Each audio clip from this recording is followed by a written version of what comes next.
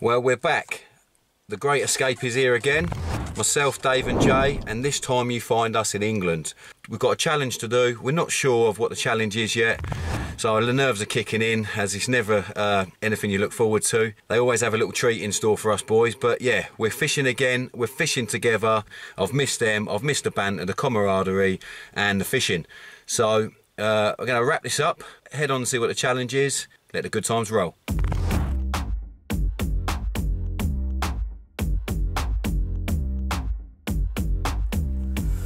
Okay, so starts again, boys. the aim of the game is to guess what you are eating. Okay. The winner will be the person who has guessed correctly in the quickest time and the most correct guesses overall. You will be blindfolded. You must finish each course. If you're sick, you lose. Why are you looking at me? That's, that's Paul out of it already. He's Okay. ball sick. Okay, okay. Your first course is called Cracking Me Up.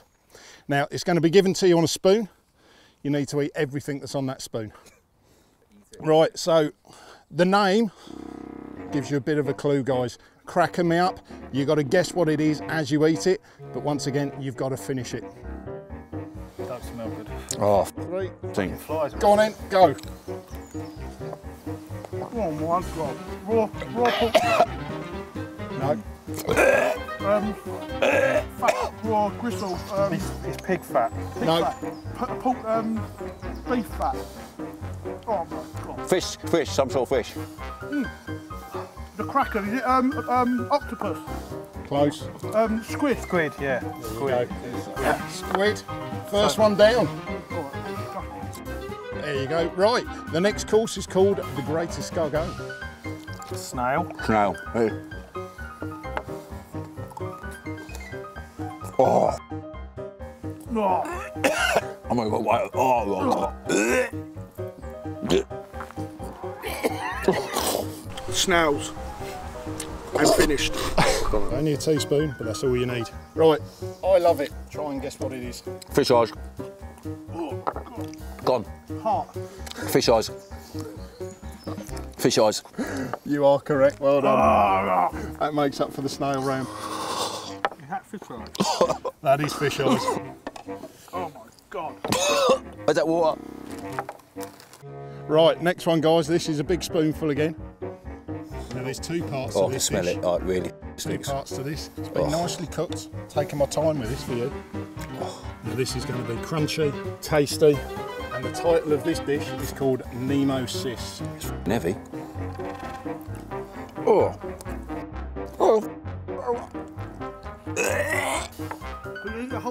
Yeah, Can't even eat it. It's too much. You know. in it.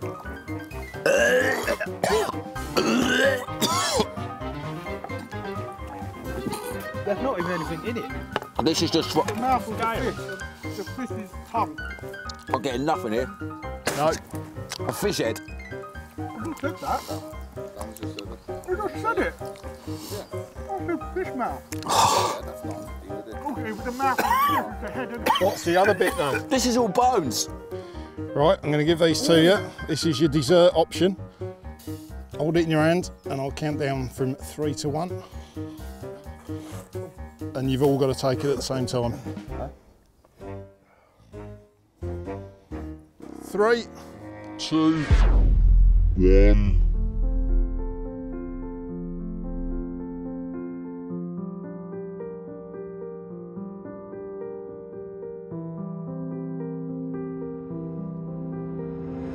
Tell them about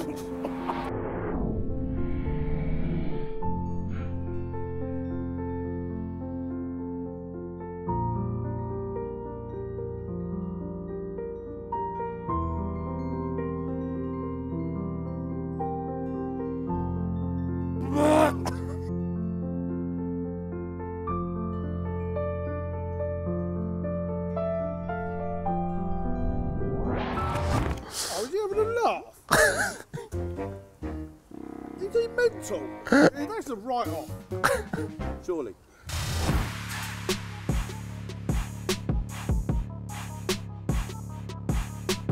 So we've got about 40 minutes before we can actually get onto the venue we're going to fish. We're going to pop down the supermarket and uh, get a few supplies and food. I'm going to drink, I think, mouthwash or something like that. Just come last in the challenge. But when it comes to Jay and Dan, and it's an eating challenge, I'm probably going to come last every time. These two can actually eat two Big Macs in about two minutes. It's ridiculous. So I know I'm never going to beat them in an eating challenge. But not every challenge will be an eating challenge. And sometimes, on a positive note, coming last can have its advantages because um, it allows me to sit back, see what the others are going to do, and weigh up my options rather than having to make a decision as soon as I get there. So let's see how it goes. Fingers crossed.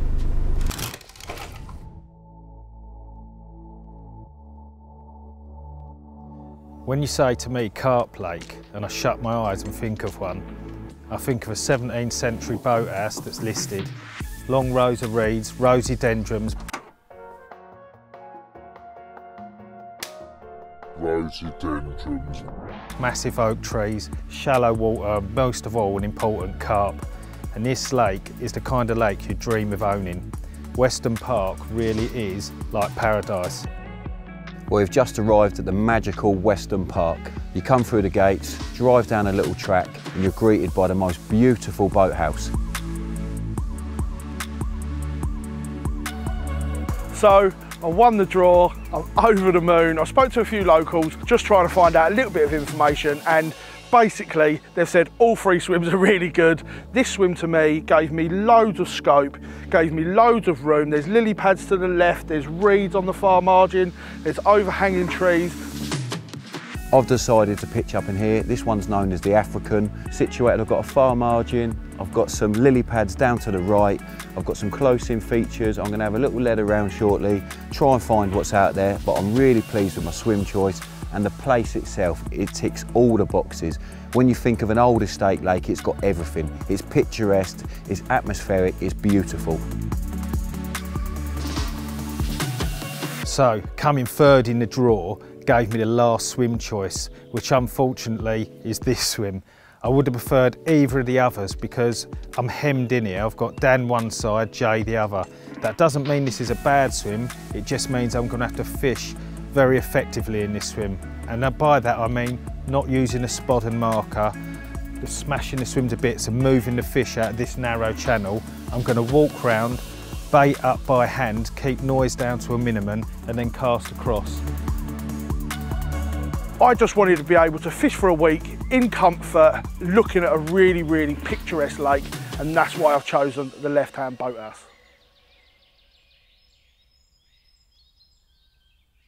I'm going to put myself up out of the way. In, the, I think it's called the African. Yeah, yeah. I'm going to go up in there with Look, a if you lads don't think it's a bad swim here, do you want the one I'm in? When we said there's a bad swim, what we meant, me and Dan said, we haven't got a bad swim. well, I don't. I'm sandwiched between the two of yous, but I know we're going to keep our lines down. And yeah, uh, nice and slack, back leading if we have to, and just keep everything out of the way. Let's see what the week brings. yeah, I think it'll be fine. I mean, like you say, um, I've got fluorocarbon on. I'm going to be fishing slack lines. Um, maybe one just to my left-hand margin, so I'm not going to be fishing far out there. A couple across to the uh, to the to the other far margin. Yep. Um, slack lines, let the fish just cruise up and down, and you know, That's what happens. Yep. yeah. I've got a week's a long time in it. Yeah. There's going to be a lot of options. So Yeah. Yeah, I'm going to yeah. probably start quite light tonight because we're what's it now, three o'clock already. Yeah, it's Just getting on there. flick yeah. a couple of naked chods out, and then uh, try and build some sort of plan tomorrow. Yeah. That's what my plan is. It's got a thing about being naked, you. When you've got a body like mine, you got to. Right, let's get out of here. Come yeah, on. let's do it.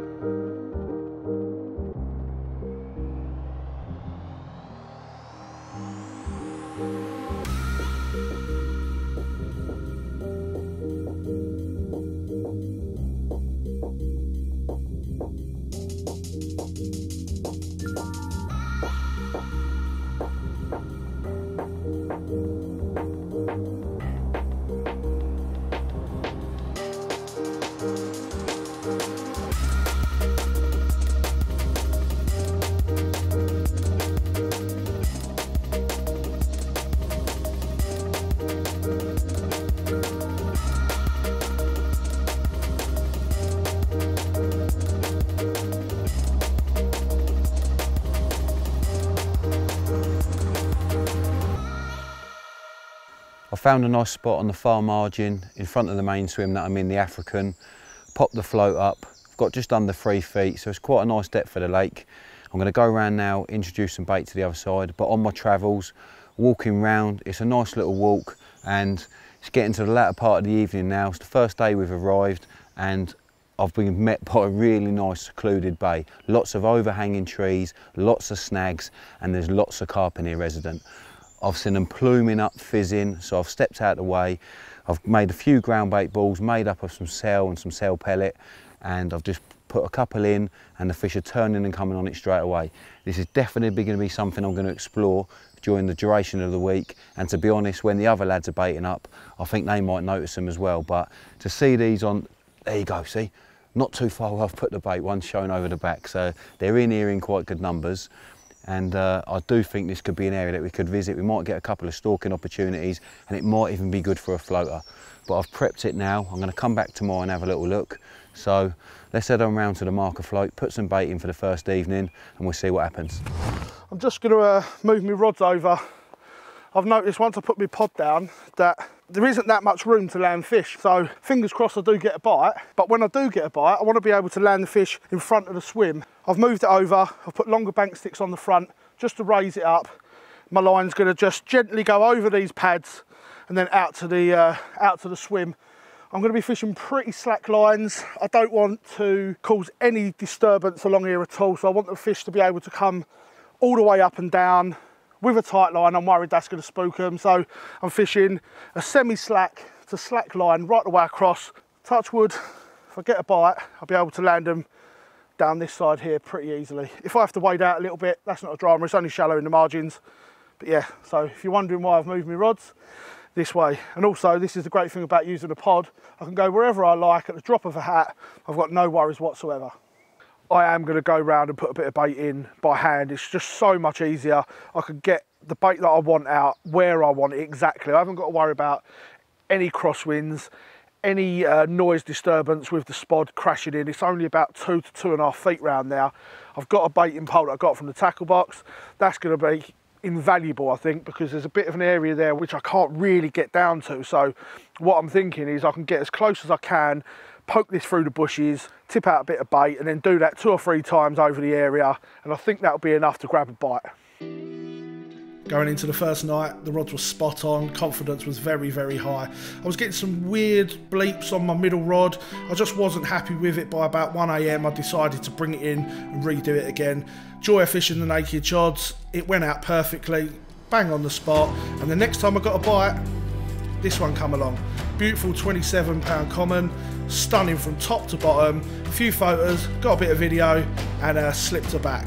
First night success on the lake, I couldn't be any happier. Really, really chuffed with this one.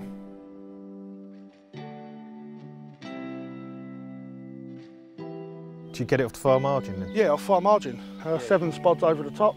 You'd have put you'd have put your car keys on that left hand rod, wouldn't Yeah, yeah. But no, it's um, yeah, good, really good start. Half past one in the morning, um, rattled off and good spirited fight. Kind of took out my right hand rod a little bit, um, but I'm fishing a chod. It's quite awkward to these lilies. yeah, that's why I'm fishing them over the lilies because then it gives me a bit of space to land the fish here. Um, but it took out the right hand rod. Nothing too. I I left the rod out, like it wasn't. But yeah, nit one per one in the middle of the night, so wasn't too bad. And then I lost another one at about half three. Really? Yeah, there's a big weed bed out here, and um, it, it just dived into the weed um, and just cut me off. There's a lot of there's a lot of old uh, swan mussels Yeah. there. I saw them over the back. There's big old ones, and I think they're clamping up on the lines because Dan also got cut off Oh, did he? just on a retrieve. Oh, really? So they definitely cause a few problems. Yeah. But it's shallow as well, isn't it? It's, it's not like you can get away from them. You've you just got. You've got every obstacle in the way, really. ain't you? You've got shallow, you've got swan mussels, you've got weed, you've got silkweed. There's everything. It's proper, proper fishing, isn't it? You know? Yeah, it's really good. It was a fantastic result for Jay, a really nice fish, and I knew it would be time for me to go and prime the areas. I went down to the pads, applied some bait, went back to the bivvy, got some fresh rigs tied, sat back on the bed chair and just watched in anticipation as the rainfall came, hoping that the night would bring my first Weston carp. Really good fishing conditions, overcast, heavy downpours, and I really was looking forward to the night ahead. In the hours of darkness, the rod pulled away, an absolute melter. Waders on, out in the pond, and there I was, attached to my first Weston Carp. We are off the mark. That's the first one in the net. Just getting off the bed for the night. a Couple of little bleeps. The line's pulled up tight round the prodding stick. I'm fishing down the margin, up to the lily pads. I've put the prodding stick in just to keep it away, out of the way of any of the marginal snags or any obstacles, and it served its purpose. It's pulled out into the main body of the lake. After a little bit of two and eight, I'm not going to lie, it was a complete battle royale. Loads of silkweed all up in the tip eye. Ended up hand lining it in, but I've got the price. It's the first one. Hopefully there's more to come. We'll get this one up on the bank and have a look at it.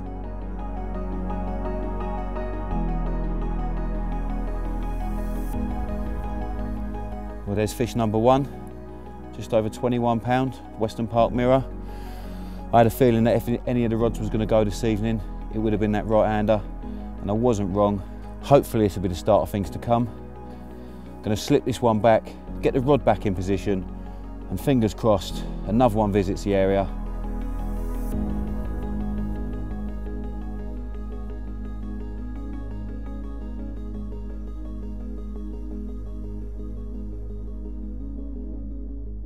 The weather is absolutely grim. It's not stopped raining for probably 24 hours.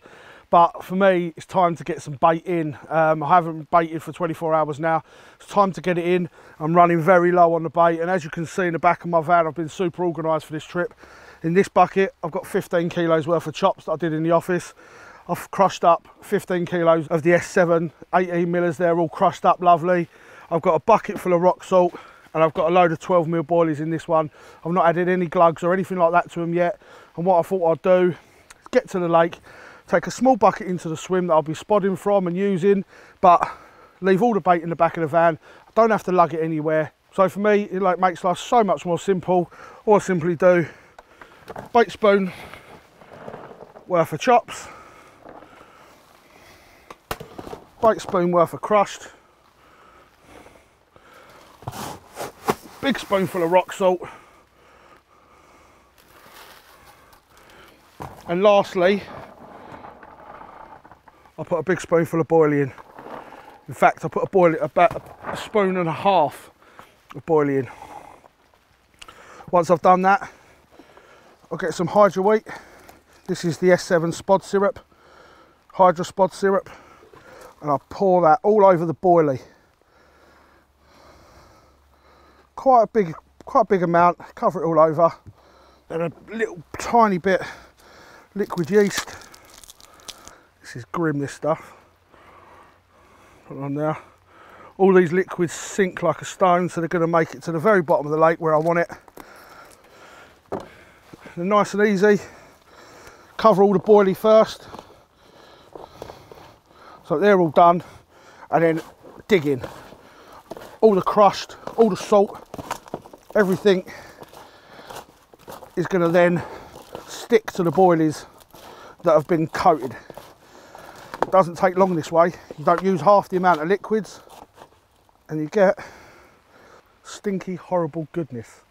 But the carp love it. I love it. That's done. Get back to the swim. Job done. Get some spod out and uh, hopefully get another bite tonight. Catch you later when you come to a new venue like we've got here or you come to the chosen swim at your syndicate or day ticket lake if you've got time in your hands and you're not just doing a quick overnighter it can pay dividends to be using a marker rod what I've got here, I've got a marker rod set up, but I would be more than happy just to use a naked lead. As long as it's on a braided main line, I opt to use the transmit. It's very responsive. It lets me determine exactly what I'm fishing over out there, whether it be silt, weed, clay or gravel. What I'm actually faced with here is really low lying silkweed. What this is, it's really stringy, strangulates all up the line. It can actually be a right pain. Every time I've put a lead out, I'm having to pull off the strands, trying to find the lower lying silkweed, somewhere that can present a rig perfectly. You can use the marker rod setup either with a naked lead or with a float like I've got here. I like to use a float because it will let me determine just how deep the water is that I'm fishing over. I'm faced with depths from two and a half foot to four foot. I found this out by playing off a foot or one foot, depending on your rod that you've got. There's markers on the blank. You can play it out every half a foot. The float will move. When your float pops up to the surface, you can determine exactly the depth that you're fishing over.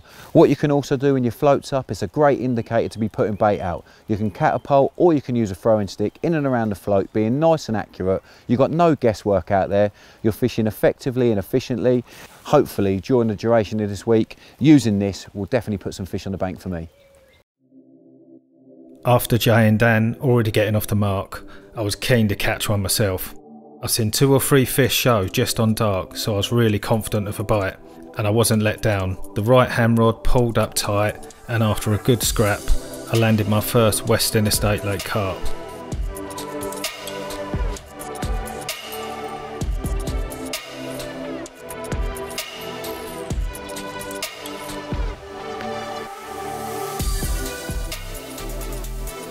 Look at that long, lean male mirror carp, and just the kind of fish you'd expect to find living in an old estate lake. They were all over me last night, so I wasn't surprised that this morning the rod ripped off. I had a good little scrap with this one. 21 pounds. It's an excellent start, so I'm going to get it back. And I might do a tactical change today. I'm not sure what yet. I'm going to put my heads together with the other guides and see what we can come up with.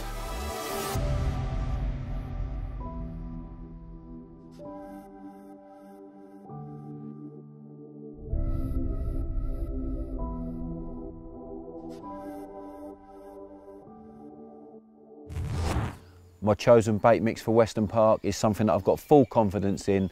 There's reasons behind all the ingredients that I'm using. I've caught fish all over the globe on this mix. I've caught it on day tickets in England, at my syndicate lake, new venues like I'm faced with here, maximum confidence, loads of attraction, and it keeps the fish grubbing for a long time. I'm going to give you a little insight now into the mix and what I'm using and why I'm using it. I'll start with the buckwheat. I've been using buckwheat now for probably around 18 months to two years. And on the Great Escapes, we've had some instant results using this. It's a particle similar to hemp. It's a little bit larger than hemp, but it's got lots of crunch. It imitates lots of snails or mussels, which will be out there on the bottom of the lake bed. And the carp absolutely love the stuff. What I like to do, I like to include a liberal amount of this. Before I come on these trips, this stuff I've got here is PVA friendly. I coat it in the PVA cell stick mix to match my chosen bait. And the bait of choice for me is the cell. It's something I take absolutely everywhere. I've got full confidence in it. It's a really good food source. The carp love it and they come back to look for it. It's really digestible. It breaks down nicely, whether I'm using it in a chopper, whole baits or crushed. All the different food sizes, different sizes in the particle, different sizes in the boilie. It will keep them carp grubbing around the area for longer. What it also does, using the chops, when I had a lead around here at Weston, there's lots of silkweed present. So what this will do, the chops will flutter down, lay nicely in just on top of the silkweed and I use a slow sinking hook bait on a helicopter presentation. That'll flutter down, similar to imitating the chops, in and around where the hook bait would be lying, sitting absolutely perfectly. I also like to include pellet. This again is a cell pellet. Same food source, in the same family as a cell. So I've got cell buckwheat, I'm using cell boilies and cell pellet. Pre and post spawn, I like to include some salt. I don't put lots in. When I've got this together in a mix, I give it a good stir up. I make sure that all the ingredients are all combining together. So the pellet, the salt sticking to the pellets, the buckwheat sticking to the pellets. Add a few more handfuls of boilies. And as you'll see, there isn't many fish that could resist this. Very fortunate thing here at Weston Park, you're not faced with lots of tench, you're not faced with lots of bream. I can get away of using the inclusion of the buckwheat and the pellets and not getting pestered by nuisance fish. Everything I know that I'm going to be putting out, the carp will come in, grazing confidently, loads of different food sizes, gives me different hook bait options. And yeah, this is my go-to mix, not just here. When I go to any new venue, I like to take ingredients and bait choice that I've got maximum confidence in. And this little array here, I have that in abundance. So we're two days in, couple of nights, and it's become really obvious that all the bites are going to come within the darkness hours, particularly in the swim I'm in. They're moving in between about 12 and 1, you can hear them jumping. First night, just fished over a bit of crumb, didn't produce any bites. Second night, fished over about two kilo boilie, and I've had a bite. I'm still not convinced we're nailed down the method that we need to get multiple bites because there was a lot of fish there and I only managed to catch one. So I'm going to do a little tactical change tonight, which I'll show you later. But as the days are so quiet, I'm going to grab my stalking rod today, grab my centre pin and my tent rod, and we'll go round see if we can't catch a carp on it. It'll be really good fun.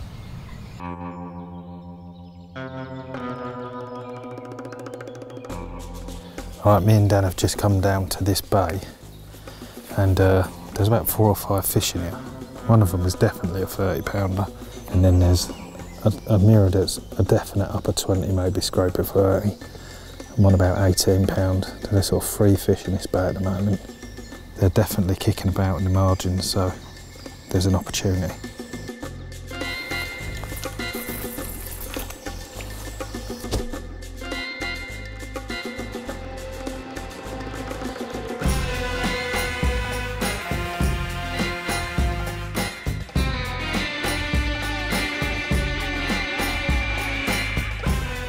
So the fish are quite close. They're probably no more than 20 yards. So at the moment, my controller's set at about 30 yards, and as a fish starts taking, that gives me the option, without making a splash, to just reel back gently into where the fish are. They ain't going crazy on them, to be fair. They're just very lethargic. Occasionally one's coming up, taking two or three floaters, and then just meandering off. Right, back. The mixers are starting to get carried across in the wind now, which is really going to work in our favour. But there's a few things you're really going to want to have with you when you float fishing. Firstly, a set of glasses, because they're going to take the glare off the water and help you to spot the fish. Secondly, you need to be really covert. I like to use a little cell dumbbell pop-up, a size 8 choddy hook, and what I do with that is I paint a little bit of Tipp-Ex on it, so that when it's against a white sky the hook can't be seen. That saves me having to bury the hook inside the bait. These fish are very cagey, they're not going mad on the mixers, they're coming up and they're just slurping the odd one.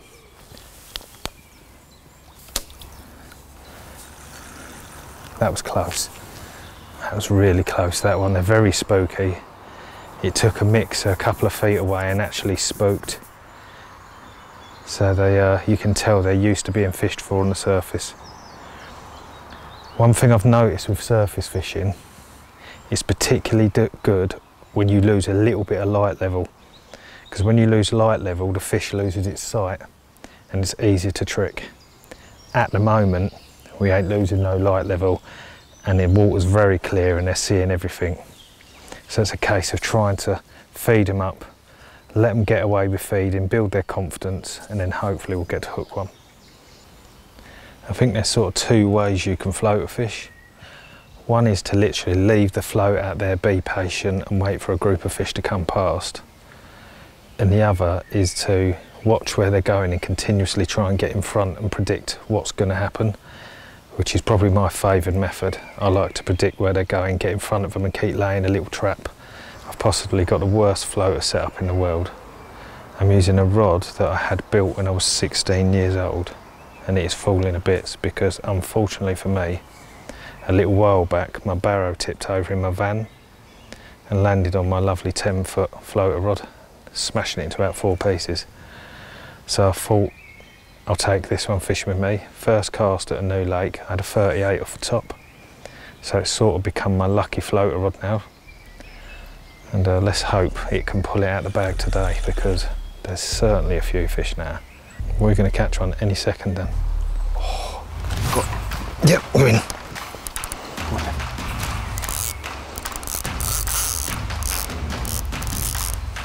Very subtle take that.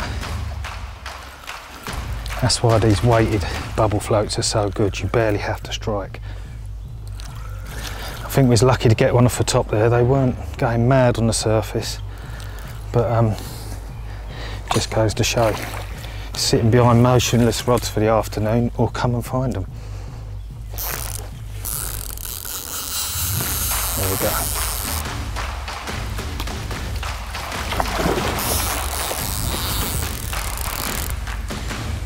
Yes. It is, yeah. Nice one. 20 in it. Lovely one. Yeah. Cheers, mate. So, it's as easy as that.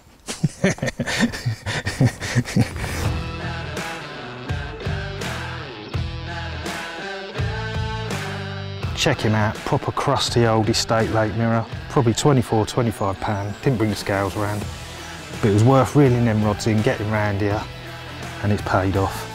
Now I think we've spooked them, so we're gonna head back to the swim now, probably get the rods out for the evening. I've been off stalking, surface fishing with Dave for an hour, and Jay's decided he's going to empty everything from the escape out into the, the swim. He's a good lad. I walked past Dave's swim. He had exactly the same.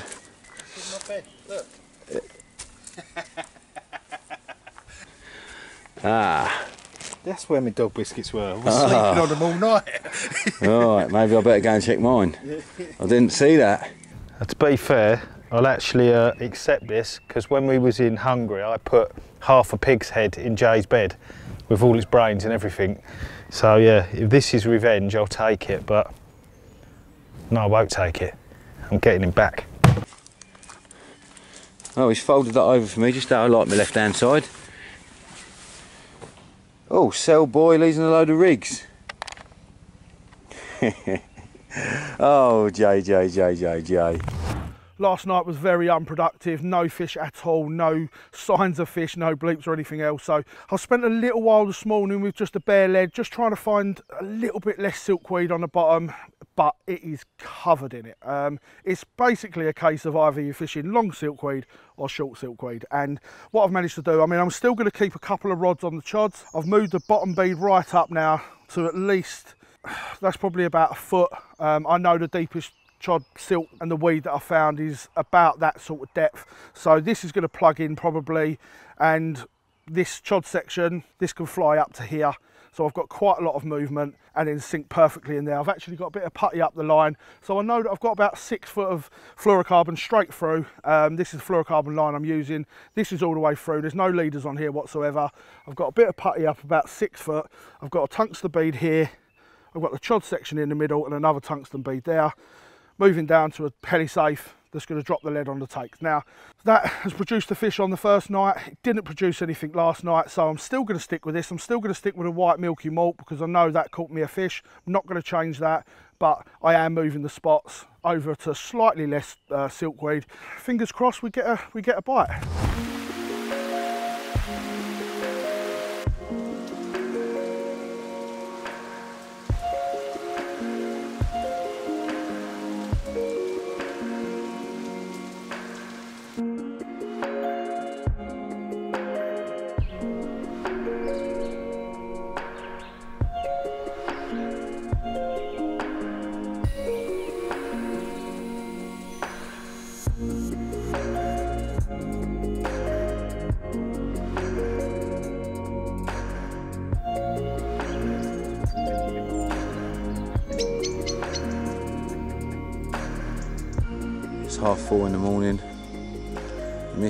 Rising and the downpours have only just stopped.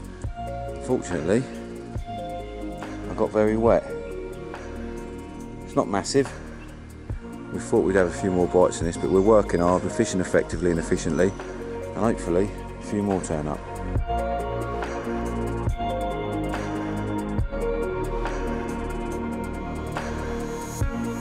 Unfortunately, we didn't get the fight of this one on camera.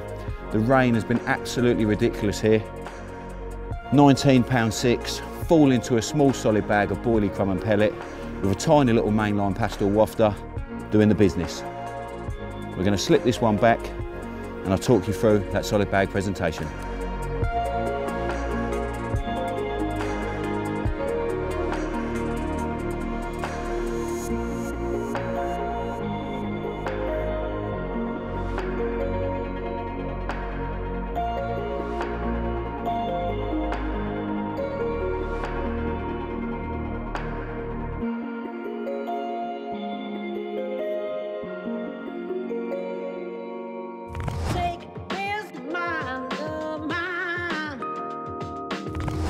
On the hinge stiff rig presentation, I've got probably eight, nine inches of soft coated 25 pound weed boom section, just to flutter down and lay nicely on top of the low lying weed.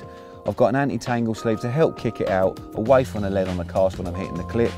And the chod section itself, I've got a size 11 flexi ring swivel, 25 pound stiff monofilament. This is tied D-rig style. On there I've got a slow sinking pop-up and this is attached to one of the new Apex hooks.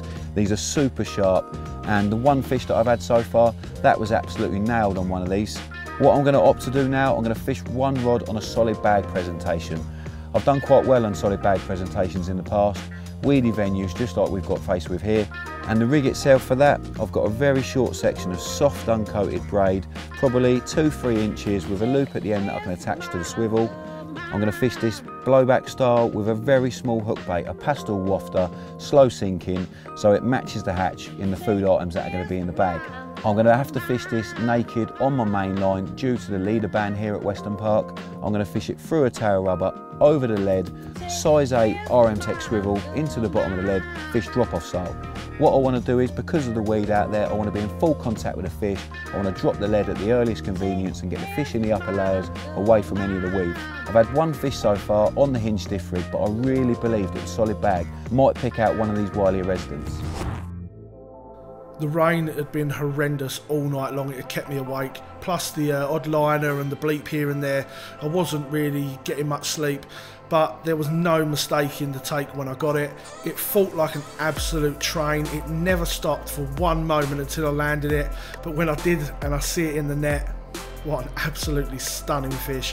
I could not have been any happier. You don't get many of them, and I finally got one.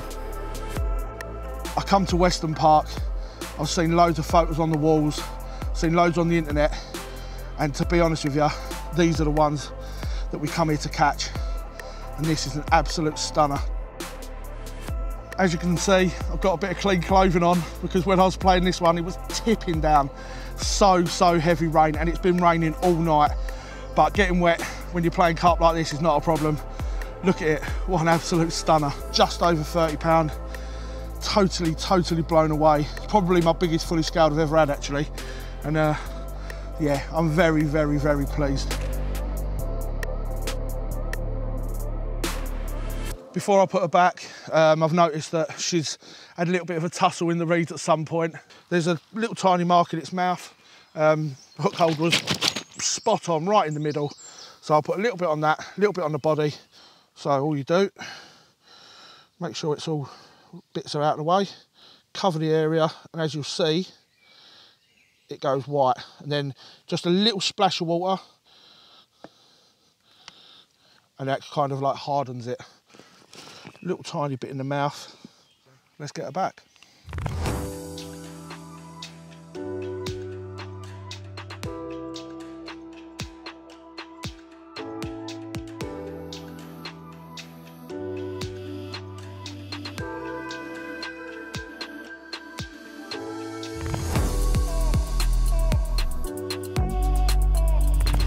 The tactical change yesterday paid off massively. £30 fully scaled. I'm absolutely buzzing with that one.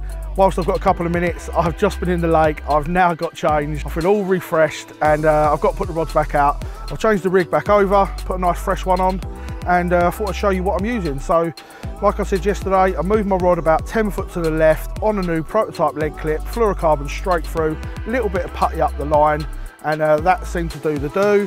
Won't talk too much about the lead clip, it's still in development, but it's a very, very good little product and um, yeah, a bit of a game changer in my opinion. So, we move on to the rig. I've got about eight to nine inches of semi-stiff rock bottom in brown, a short anti-tangle sleeve. If you noticed, I've actually made a really big loop. It means the anti-tangle sleeve hasn't got to get caught up on the knot, but also this is a doubled up section. So whilst I've got the tungsten anti-tangle sleeve there, I've also got a doubled up section, which kicks it away just that little bit more than if you had the knot underneath here. Makes life just a little bit easier. Underneath that is a quick link, and that will push us together like so A couple of bits of putty on the hook link. Um, I'm a bit old school, so I still keep the, the putty on the hook links, even though this is rock bottom and it's actually tungsten impregnated, sinks like a stone. I just, for my confidence, I've always put it on there. I've got a little bit of 2.4 mil shrink tube. If you notice, I've actually come out the back of the shrink tube, proper line to liner style onto a slip D rig. Now all this is is uncoated part of the hook link, uh, doubled up like a multi-rig sort of style, and then whipped on with a knotless knot. Very, very simple rig to tie and uh, a size 4 curve shank. This is one of our new ones, new and improved, absolutely razor sharp. And then I've got a DNA dumbbell wafter. What I will do is add a couple of bits of the new disperse foam nuggets, a couple of bits of that. And the way I attach it, I stick it one that side, and then I lick one piece, and I lick and stick it like that. If I know that I'm going to be doing a decent cast, I'll actually fold it over again, and then again,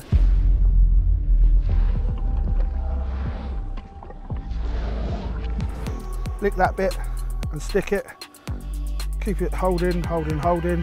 That should bring them together. Pull that down nice and tight so it's not going anywhere. That will sit on the bottom for quite a while. It won't come off on the cast. Won't come off as soon as it hits the water if you fold it like that. Then eventually that will dissolve. The whole lot will sink to the bottom and sit perfectly waiting for Mr. Carp. Well, been given the opportunity of a move by the fishery owner. Rob just come up and said I can move into a swim that's vacated.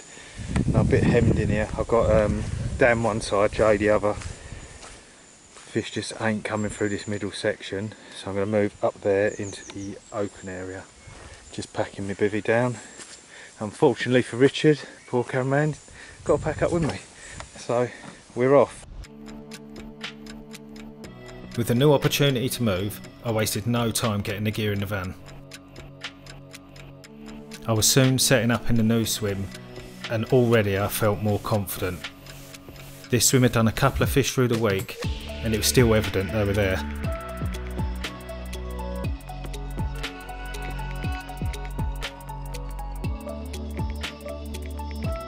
With the rigs baited and the rods ready to go, I was brimming with confidence. Now all I had to do was a bit of bait prep, get some bait out there. The deep silt was being turned over by the carp, and already I knew that an hour in the right spot was better than 24 hours in the wrong spot. I was excited to see what the night was going to bring.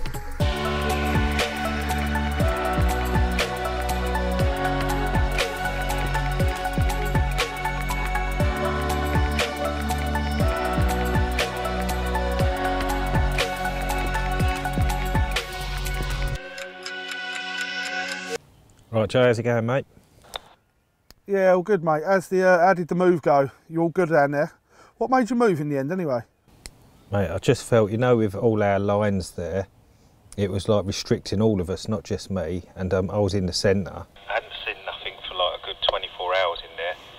And this this swim has actually done a few fish this week. And like you know, normally you can't move, but Rob gave us a little bit of permission to move because we was hemmed in, and he said it'd benefit a lot of us. But um, there's quite a few fish about. How's it looking up there? I have got two guys, uh, syndicate members. They've moved into my left.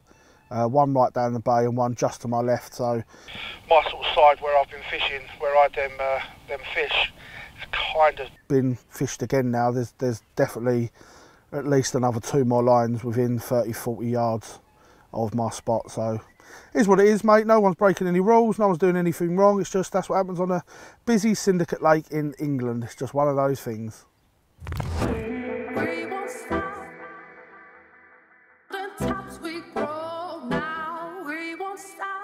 Stop. Tops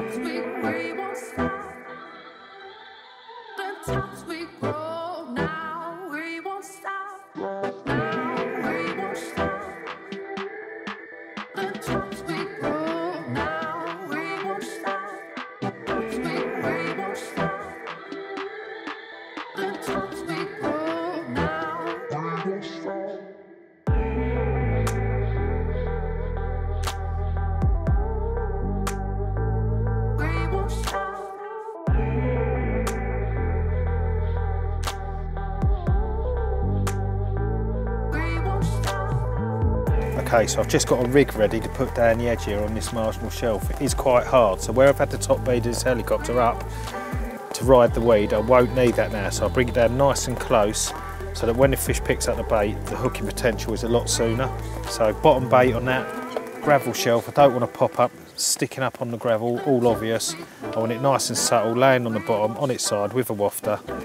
I'm just going to cast that down there and a couple of little catapults of bait over the top. Might bring us on a bite, let's see what happens.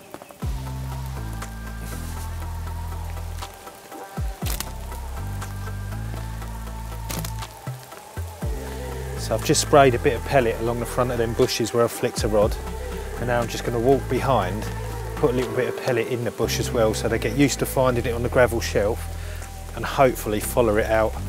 We might get a bite.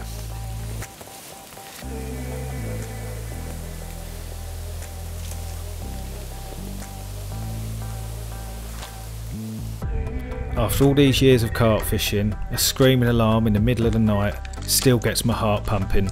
And as I lifted the rod, I could tell it was definitely a better fish. After a really good scrap, a lovely common lay within the net. With the fish safely retained in a carp sack, I waited for daylight when we could have a proper look at my prize.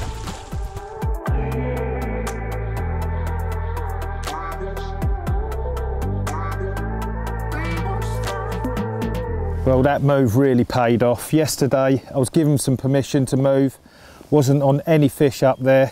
Got down here, got some fresh rigs on, fresh bait out, and early hours this morning, the rod's rattled off this lovely 30 pound common, absolute pristine condition from an absolutely beautiful venue. Really pleased with this one.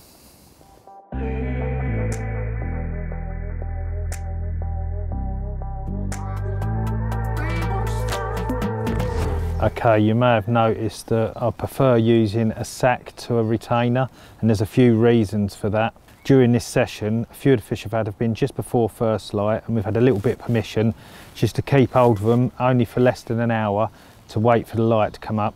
And I prefer a sack for a few reasons. Firstly, it sits down in the water column where a retainer holds the fish high in the water where there's less oxygen.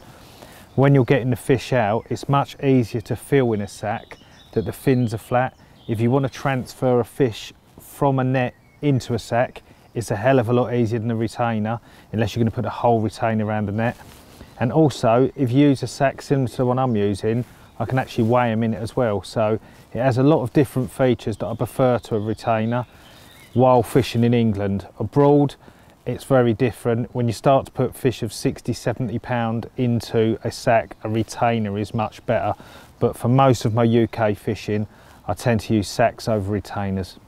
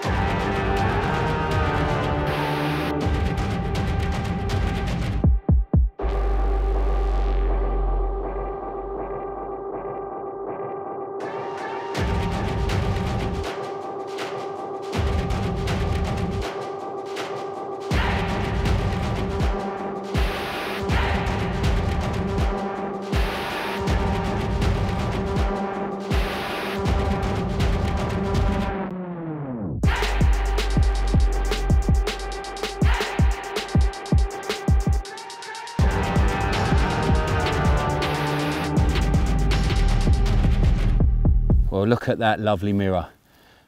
26 pound eight. I've been watching fish show over me all day, sitting on the end of the bed chair in anticipation. And finally, the left hand rod's gone. The hinge stiff rig with a banoffee pop up has uh, turned up with this lovely, lovely creature. I really believe with Dave making the move further up into the lake has relieved some line pressure down here between myself and Jay. Fish are starting to feel a bit more confident. They've moved in and I've managed to nick this one. Really, really nice way to go into the evening. No more talking about it. The way it is, the way it is. It's no mystery. There's no getting around it. When you're here, when you're here. We got chemistry. We light up When we ignite we're stars in a dark and skirt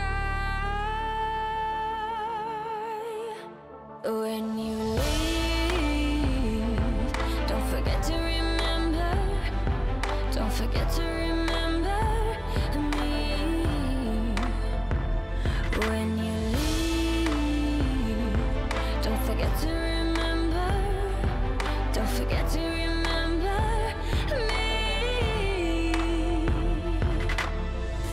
Well, our time has come to a close here at the beautiful Weston Park. It's been a fantastic trip in wonderful surroundings. We've caught some really beautiful carp.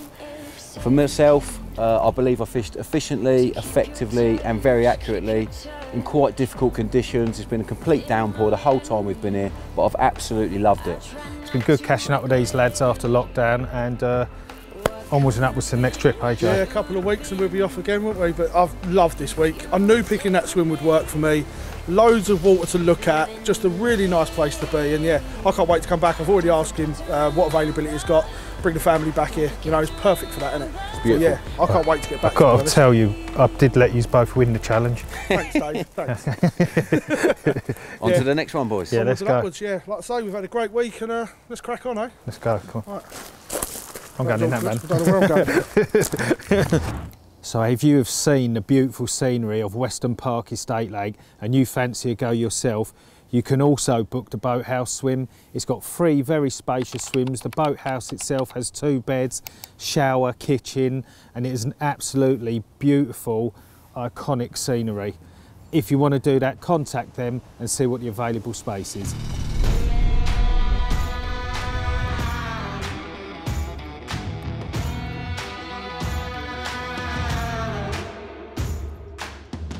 Oh. Oh, look. Yeah, I was just fishing in my pants. Like, you know, I'm fishing in my pants all week, wasn't I? You know what I mean? When I was playing hooks, fucking hard oh, as nails, no, run the Queen Vic. All I've got to do is hold it out a little bit further. no one believes a 30 looks like 30 on me anyway. I might as well make it up. All right, Dave. What have you found, Dave? Well, I've found that you've never fished accurately in your whole life.